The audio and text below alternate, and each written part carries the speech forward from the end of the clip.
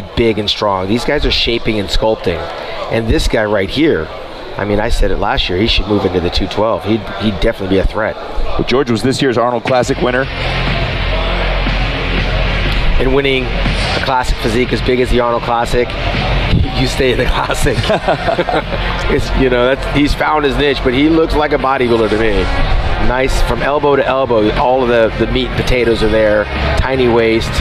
Short Kai Greene like torso. We're talking about that, about Williams. But you can see how flat his stomach wall is and how round the quadriceps are.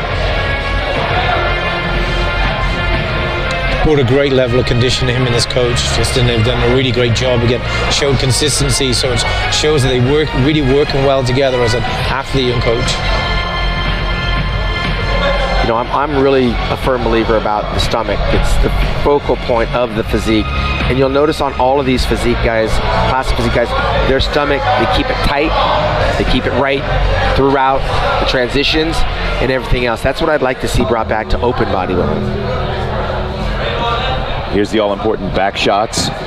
Oh, that's some nice detail. Yeah, he's got some lats too. Look how low they come down on his lower half. They come all the way to his waist. This is probably the best I think I've seen George possibly.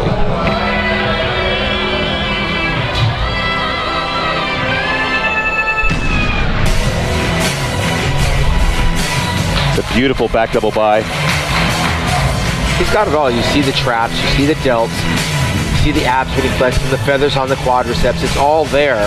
The hamstrings are a little bit slight, but again, we're looking at classic physique. This is not open bodybuilding, so you don't have to have the extreme that we typically look for when we're at the 212 in the open category. I'd also like to see him step into the 212 division because he's probably weighing in about 192ish, I guess, for his height, I'm guessing, thereabouts. So you can see that the more muscle in the right places, his physique is going to look George Give him 10 pounds of muscle and he's going to